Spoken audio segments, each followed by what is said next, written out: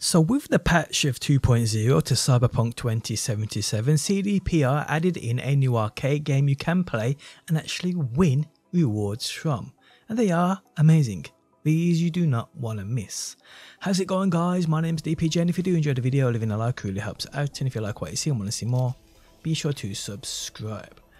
So the Trauma Drama is a new arcade game you can find uh, around Night City via arcade machines.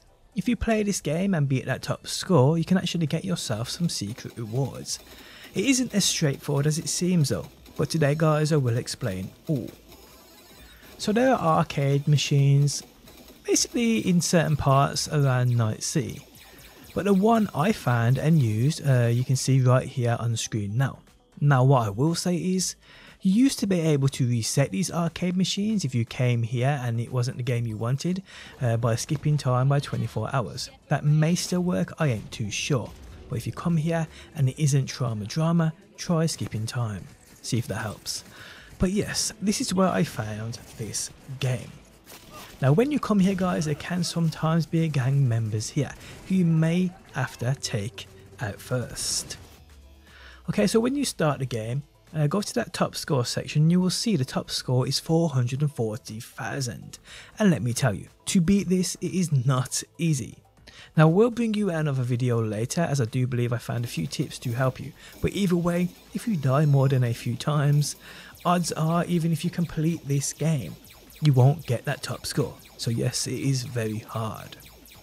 Now if you get top 10 of the leaderboards you will get a text message, but this isn't the one you want, this means nothing, it actually confused me at first. You need to get top score to earn these rewards. So eventually guys, if you do get that top score, you also guys don't have to actually complete the game, to get the uh, the text message you need. As long as you have that top score, it doesn't matter if you complete the game or not. So if you die with that top score, let the timer run down guys, back out of the game and you'll get the text message you want. So the text message basically asks you to apply to become part of the team but you have to do it via a computer. Now for me, my mega building apartment, although it has a computer, it didn't have the actual Trauma Team website on it, so I couldn't access it. What I had to do was, on this computer, I had to buy a 40 grand apartment in Glen. So that's what I did, and that's where I went. There guys, I could access the website.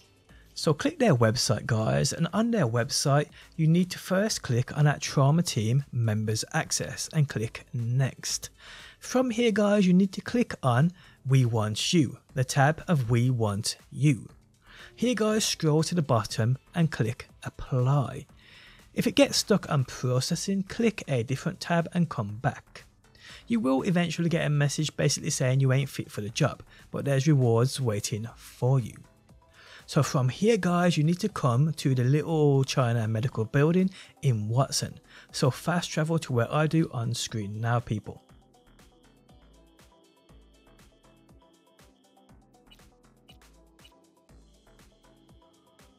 Now once you get here guys, follow the short path I take.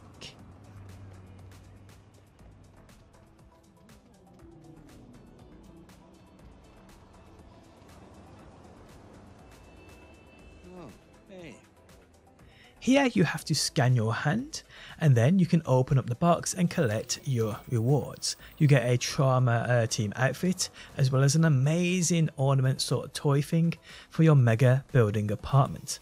So yes guys, a great set of rewards, definitely worth your time in doing this. And there we have it guys. Guys, if you enjoyed the video, leaving a like really helps out. If you like what you see and want to see more, be sure to subscribe and hopefully guys, I will see you on that next one.